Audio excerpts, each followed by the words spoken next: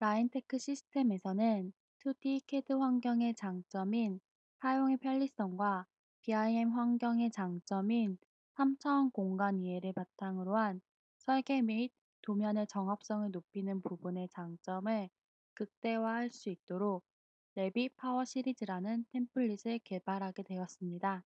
template이라 함은 특정 목적에 적합한 결과물을 얻기 위해 반복적으로 사용되는 사항들을 미리 정의해둔 표준 환경 설정을 말하며 사용자는 template을 활용하여 반복되는 불필요한 시간을 줄이고 작업의 효율을 높일 수 있습니다. 라인테크 시스템에서 배포한 Revit 파워 시리즈는 소규모 근린 시설을 기준으로 허가형 도면 작성을 최종 목표로 제작되었으며 프로젝트 탐색기, 도면 title block, 각종 주석 기호, graphic standard, 라이브러리 등을 포함하고 있습니다.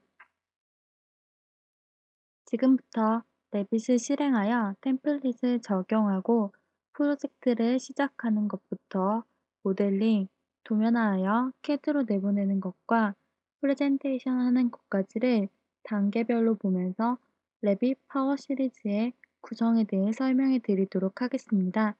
먼저 Revit을 실행하여 왼쪽 상단에 있는 메뉴 검색기를 클릭하고 새로 만들기 프로젝트를 선택하면 template 파일을 선택할 수 있는 창이 뜨게 됩니다. template 파일 찾아보기 클릭하여 저희가 제공해드린 Revit 파워 template을 선택, 적용한 다음 프로젝트를 시작해 보겠습니다. 프로젝트를 시작했을 때 제일 먼저 보여지는 view는 drafting view입니다. 이 view는 파일 실행 시 항상 최초로 보여지는 view로 각자에 맞추어 내용을 편집하여 사용하시면 됩니다. drafting view는 주로 프로젝트 정보나 디자인 의도 등을 표기하여 프로젝트 팀이 모두 공유할 수 있게 활용할 수 있습니다.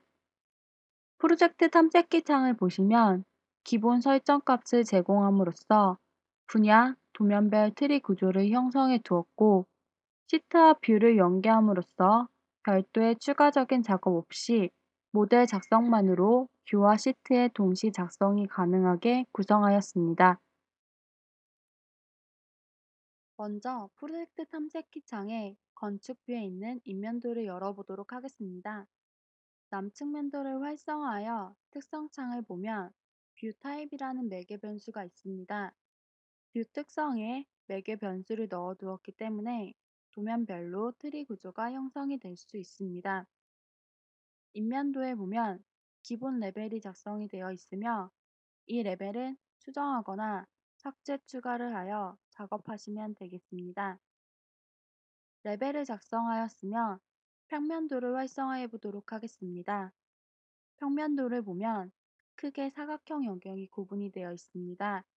이 영역은 시트에 배치할 수 있는 영역을 표시한 것으로 100분의 1 스케일에서는 이 영역에 속하는 범위 내에서만 시트에 배치할 수 있습니다. 또한 단면도와 콜아웃은 샘플 도면에 배치했던 것으로 각 프로젝트에 맞춰 수정하거나 삭제하여 사용하실 수 있습니다.